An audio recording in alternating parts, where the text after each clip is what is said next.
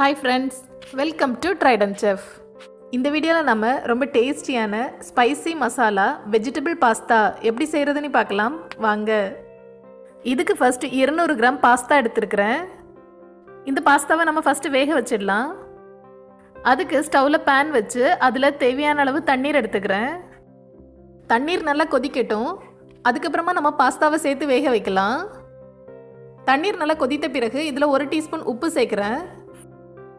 இதை நல்லா கலக்கி விடுறேன். அப்புறமா இதில் நம்ம எடுத்து வச்சுருக்கிற பாஸ்தாவை சேர்க்குறேன். இதை தண்ணீரில் நல்லா மிக்ஸ் பண்ணி விடுறேன். இது நல்லா வேகட்டும். டென் மினிட்ஸ் ஆகும் பாஸ்தா நல்லா வேகிறதுக்கு. பாருங்கள் பாஸ்தா நல்லா வெந்துடுச்சு. இப்போ நான் ஸ்டவ் ஆஃப் பண்ணிடுறேன். அடுத்து நான் இதில் உள்ள தண்ணீரெல்லாம் வடிகட்டி எடுத்துக்கிறேன். எல்லா தண்ணீரையும் வடிகட்டி நான் ஒரு பவுலில் எடுத்து வச்சுருக்கிறேன். இது இருக்கட்டும்.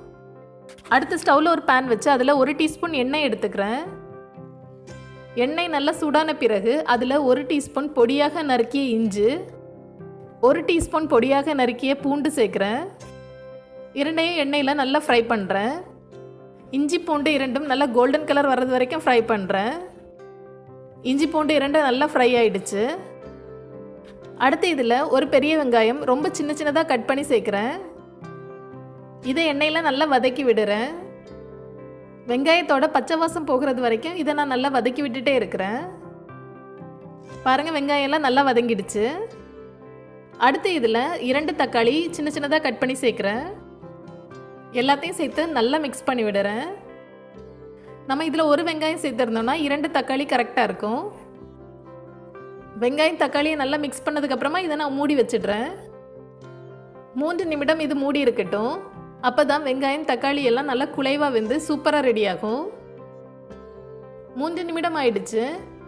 இப்போ நான் இதை ஓப்பன் பண்ணுறேன் வெங்காயம் தக்காளி இரண்டும் நல்லா குலைவாக வெந்துடுச்சு. இதை நல்லா மிக்ஸ் பண்ணி விடுறேன். அப்புறமா இதில் அரை கப் பொடியாக நறுக்கிய கேரட் கூடவே அரை கப் பொடியாக நறுக்கிய கேப்சிகம் சேர்க்குறேன். எல்லாத்தையும் சேர்த்து நல்லா மிக்ஸ் பண்ணி விடுறேன். அப்புறமா இதை மூடி வச்சிடலாம். ஃபைவ் மினிட்ஸ் இது மூடி இருக்கட்டும். கேரட் எல்லாம் நல்லா வேகிறதுக்காக இதை ஐந்து நிமிடம் மூடி வைக்கிறேன். ஃபைவ் மினிட்ஸ் ஆயிடுச்சு. இப்போ நான் இதை ஓப்பன் பண்ணுறேன் பாருங்கள் கேரட் எல்லாம் நல்லா வெந்துடுச்சு. எல்லாத்தையும் சேர்த்து நல்லா மிக்ஸ் பண்ணி விடுறேன். எல்லாம் நல்லா மிக்ஸ் பண்ணதுக்கப்புறமா இதில் அரை டீஸ்பூன் கரம் மசாலா இரண்டு டீஸ்பூன் சில்லி சாஸ் இரண்டு டீஸ்பூன் டொமேட்டோ சாஸ் கூடவே அரை டீஸ்பூன் உப்பு சேர்க்குறேன். எல்லாத்தையும் சேர்த்து நல்லா மிக்ஸ் பண்ணி விடுறேன். இரண்டு டீஸ்பூன் சில்லி சாஸ் சேர்த்துருக்கிறதுனால இதில் கொஞ்சம் காரம் அதிகமாக இருக்கும். உங்களுக்கு காரம் கொஞ்சம் கம்மியாக தேவை அப்படின்னா ஒன்றரை டீஸ்பூன் சில்லி சாஸ் போதும். சில்லி சாஸ் இல்லைன்னா சில்லி பவுடர் கூட யூஸ் பண்ணிக்கலாம். பாருங்கள் எல்லாம் நல்லா மிக்ஸ் ஆகிடுச்சு அடுத்து இதில் நம்ம வேக வச்சு எடுத்து வச்சுருக்கிற பாஸ்தாவை சேர்க்குறேன். பாஸ்தாவை இந்த மசாலாவில் நல்லா மிக்ஸ் பண்ணி விடுறேன். இது செய்கிறதுக்கு ரொம்ப டைம் எல்லாம் ஆகாது. ரொம்ப சீக்கிரமாக செஞ்சிடலாம்.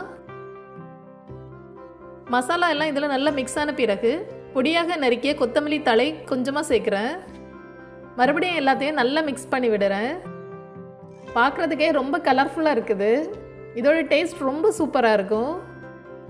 வீட்டில் உள்ள இன்க்ரீடியன்ஸ் வச்சு ரொம்ப ஈஸியாக அந்த பாஸ்தாவை நம்ம ரெடி பண்ணிடலாம். எல்லாம் நல்லா மிக்ஸ் பண்ண பிறகு நான் ஸ்டவ் ஆஃப் பண்ணிடுறேன். அவ்வளோதான் ரொம்ப டேஸ்டியான spicy masala vegetable pasta ready ஆயிடுச்சு.